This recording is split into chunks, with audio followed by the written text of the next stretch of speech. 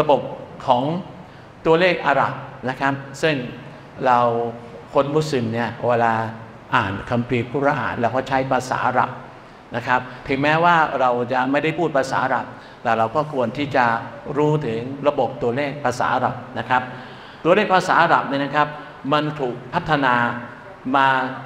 จากตัวเลขของโรมัน ใครเคยสงสัยไหมว่าทำไมเลข ที่ฝรั่งใช้เนี่ยจึงเรียกว่าเลขอารบิก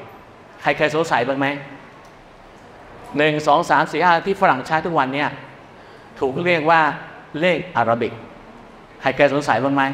ฝรั่งเขียนแต่บอกว่าเนี่ยเป็นเลขอารบิกนะครับ ให้ทำความเข้าใจนิดหนึ่งคือฝรั่งเนี่ยนะครับ มาเจริญเอาหลังจากที่อิสลามเนี่ยรุ่งเรืองแล้ว ราะว่าหลังสมัยนบีมูฮัมหมัดนะครับ มุสลิมเนี่ยรุ่งเรืองระยะเป็นพันปี แล้วก็ไปตั้งเมืองหลวงอยู่ในแผ่นดินสเปน สเปนก็อยู่ในยุโรป เรียกว่าอาณาจักรอันดาลุสนะครับและขณะเดียวกันที่แบกแดดก็เป็นเมืองหลวงแห่งความเจริญนะครับของโลกในเวลานั้น จนถึงขนาดที่เรียกว่าคนในโลกเนี่ยนะครับใฝ่ฝันว่าอยากจะมาเที่ยวที่สเปน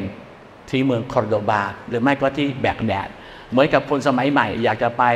ปารีสอยากจะไปลอนดอน อยากจะไปนิวยอร์กนะครับสมัยก่อนนะครับฝรั่งเนี่ยถ้าเขาต้องการความเจริญ เขาจะต้องมาที่สเปนนะครับที่เมืองคอร์โดบา เพราะที่นั่นเป็นมหาวิทยาลัยที่ใหญ่ที่สุดในโลก หรือไม่ก็ไปที่แบกแดด ซึ่งเป็นเมืองที่เจริญมั่งคั่งที่สุดในเวลานั้นนะครับฝรั่งเวลาจะมาเรียนที่เมืองคอร์โดบาในสเปนนะครับจะต้องเรียนภาษาอาหรับมาก่อน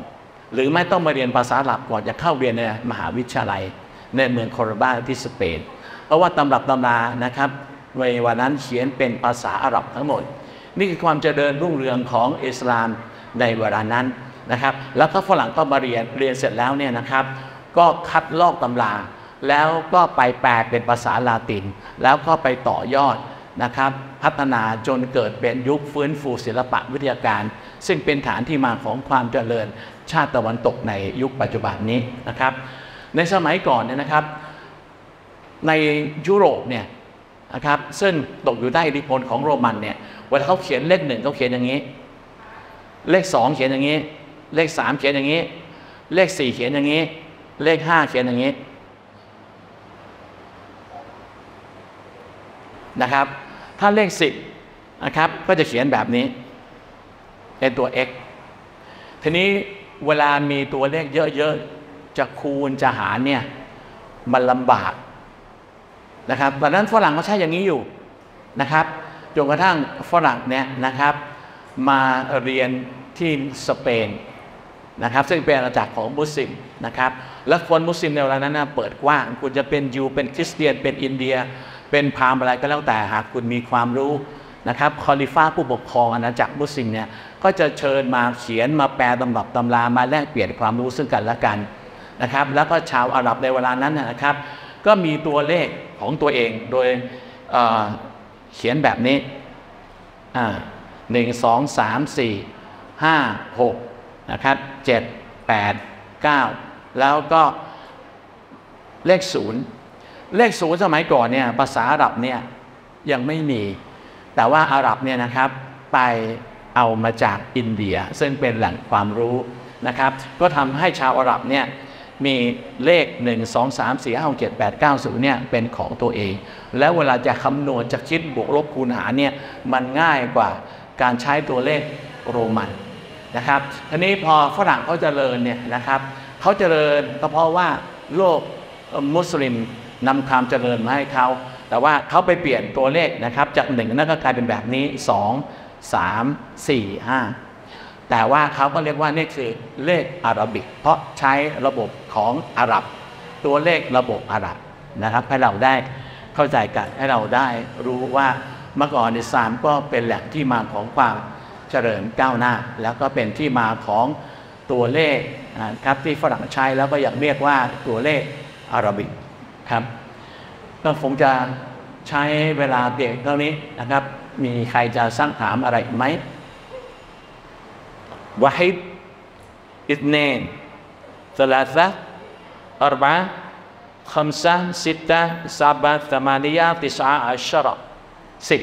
นะครับสิบก็เขียนแบบนี้อ่าถ้าใครอยากกระท่องจำเป็นเพลงผมสอนให้วาฮิดอิสเนนสลาซะอัรบะขมซะสิตะะสบาตานานิยะติสะวะอัชชารอน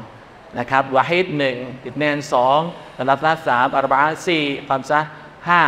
สิตตะหกสบาเจ็ดสมานิยะแปดติสะเก้าอัชชารสิบอ่าไปทีได้นะครับวาฮิดอิสเนนตลาซะอัรบะคัมซะสิตตันสบาตามานิยันติสอะวะอัชชารอน ครับขอบคุณมากครับอ่ามันเห็นกับตัวนี้อธิบายอีกนิดนึงเนี่ยศูนย์หนึ่งอะแบบเนี่ยอ่าโอเคเห็นไหมฮะอันตัวอย่างเลขอาหรับ ภาษาอาหรับตัวอักษรอาจจะฝาไปซ้าย แต่ถ้าตัวเลขอาจจะซ้ายไปขวานะครับ ข้างบนจอเห็นไหมตัวศูนย์แล้วก็หนึ่งสองสามสี่ห้าข้างล่างนะครับเป็นเลขสองหลักสิบ เห็นไหมหนึ่งมาก่อน แล้วถึงจะมีตัวศูนย์สิบเอ็ดสิบสองสิบสามสิบสี่สิบห้าอาจจะซ้ายไปขวา แต่เวลาอ่านภาษาอาหรับอ่านจากขวาไปซ้ายนี่ไก่เกิดเออทำดีขอบคุณครับ